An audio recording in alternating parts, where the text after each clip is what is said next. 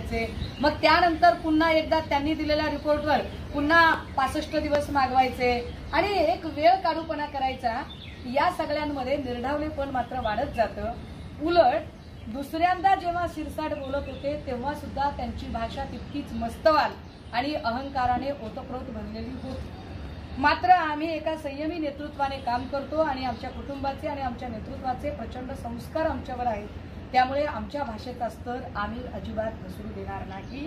आज मी डिफॉर्मेशनची केस दाखल करण्याच्या संदर्भात कोर्टाची प्रोसिजर कंप्लीट करते या प्रोसिजरमध्ये मला पहिल्यांदा नोटीस दाखल करावी लागेल जी नोटीस मला पाठवावी लागेल आरोपीला.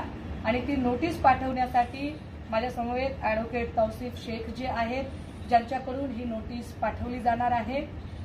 ही नोटीस पाठवतानाच जर आमची तक्रारच कुठूनच दाखल करून घेतली जात नसेल तर आम्हाला कोर्टाचा पुन्हा दरवाजा ठोठावणे गरजेचे आहे. ज्याच्यानुसार according to one fifty six three मी कोर्टातून ही तक्रार दाखल करण्याच्या संदर्भात मी न्यायालयाकडे दाद मागत आहे. आणि तिसरी गोष्ट अब्रू नुकसानीचा दावा दोन पद्धतीने सिव्हिल आणि टू झिरो फोरचा प्रायव्हेट क्रिमिनल अशा दोन प्रकारचे दावे मी दाखल करत आहे.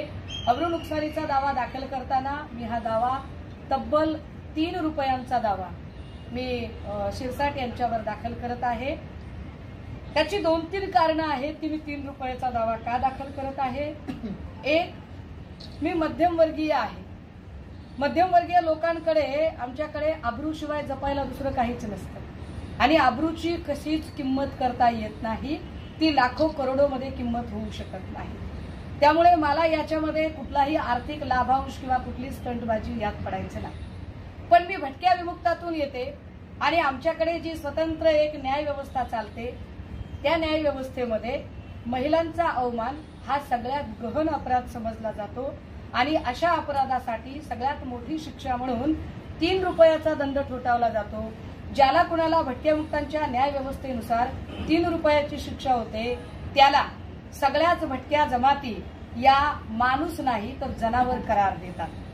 की ज्याला माणसासारखं वागता येत नाही आणि जो माणूसपणाचे सगळे गुणधर्म सोडून वागतो अशा माणसांना एक्सक्लूड करत हा तीन रुपयाचा दंड ठोठावला जातो.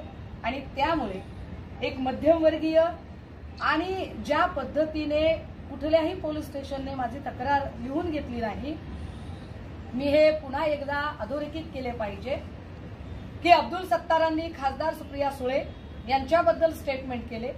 त्यानंतर गुलाब पाटलांनी एकदा स्टेटमेंट केले आणि सातत्याने रोज नवे स्टेटमेंट होत राहतात. या स्टेटमेंटला कुठेतरी चाप बसणे गरजेचे आहे आणि हे संपूर्ण लोकांपर्यंत सुद्धा पोहोचणे गरजेचे आहे की सरकार पक्ष हा जाणीवपूर्वक खर तर संबंध महाराष्ट्राचे चालक पालक म्हणून त्यांनी काम करायला हवं परंतु असं न करता फक्त आणि फक्त आम्ही सत्ताधाऱ्यांच्याच हितासाठी लढू असे म्हणत शीतल म्हात्रेंचं रॅलीतलं प्रकरण असेल किंवा गणेश बिडकरांचं डान्स बार व्हिडिओ प्रकरण असेल यामध्ये फक्त आणि फक्त सांगितलं की गुन्हा दाखल होतो. आम्ही मात्र ओरडून जीव तोडून पब्लिक डोमेनमधले सगळे पुरावे देऊन सुद्धा गुन्हा दाखल होत नाही. या संदर्भाने आम्हाला आमचा अंतिम न्यायाची अपेक्षा म्हणून कारण म्हातारी मेल्याचे दुःख नाही पण काल सोकावतो आणि म्हणून आम्ही आज हा दावा दाखल करत आहोत. आज नोटीस पाठवली जाईल. नोटिशीत आम्ही त्यांना शेवटची संधी देतोय. या शेवटच्या संधीत आम्ही त्यांच्याकडून उत्तर मागू. पण मला नाही वाटत ज्या पद्धतीने अहंकाराने ओतप्रोत असणारी माणसं बोलत आहेत त्यावरून त्यांना अजूनही काही पश्चात बुद्धी किंवा उपरती झाली असेल असे अजिबात वाटत नाही. आणि त्यामुळे हा दावा दाखल करण्यात अक्षय तृतीया सणानिमित्ताने राम डेझर्ट कूलर घेऊन आले आहेत पंचवीस टक्क्यांपर्यंत डिस्काउंट ऑफर शंभर स्क्वेअर फूट ते एक हजार स्क्वेअर फूटचा परिसर थंड करण्याची क्षमता असलेले विविध प्रकारचे मेटल कूलर्स कोणताही इतर कूलर घेण्याआधी ग्राहकांनी नागपूरचे सुप्रसिद्ध राम डेझर्ट कूलर्सच्या सोलापुरातील भव्य एक्सक्लुझिव्ह शोरूमला अवश्य भेट द्या. राम डेझर्ट कूलर्स एक्सक्लुझिव्ह भव्य शोरूम.